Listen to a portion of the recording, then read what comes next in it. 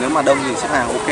Nếu mà ờ, vắng thì có thể cho họ vào, nhưng mà lần này người ta lại nào là viện cớ không cho đi, rồi là không có nước, rồi ờ, lại không có ừ, không không bị tắc thế nọ thế kia mà trong đó có cũng rất là nhiều phòng chống, chứ không phải không.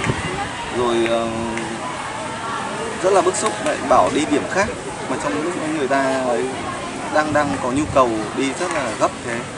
Thế xong rồi hôm qua mình đã bị rồi mình đã phải chạy tít từ dưới kia. Xong hôm nay thì không chịu được. Mình vào người ta còn ẩn cả cửa người ta còn vào. Thật sự lúc đấy rất là bức xúc.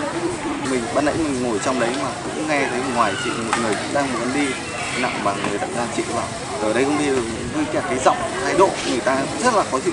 Đặc biệt cái chị đấy. Mình cũng rất là thấy thấy thấy, thấy bức xúc. Mà mình phải nói từ bên trong ra. Chị ác vừa vừa thôi chị đừng có mà như thế.